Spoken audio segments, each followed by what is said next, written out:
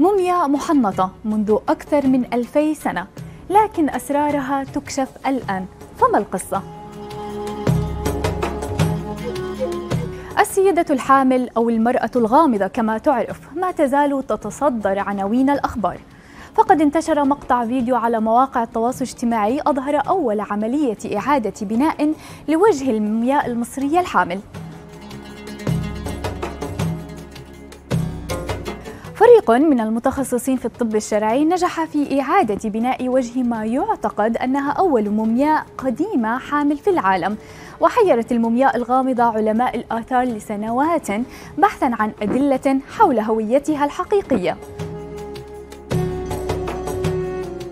الفريق أجرى عملية إعادة بناء للوجه مستخدما الأشعة المقطعية والأشعة السينية وتوصل إلى تصورين مختلفين لشكل المرأة.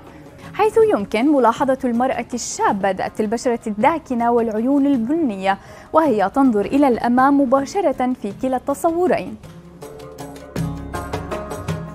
علماء الآثار يعتقدون أن المرأة توفيت منذ حوالي ألفي عام بينما كانت حاملا في أسبوعها الثامن والعشرين وكان عمرها على الأرجح بين عشرين وثلاثين عاما وعاشت في القرن الأول قبل الميلاد.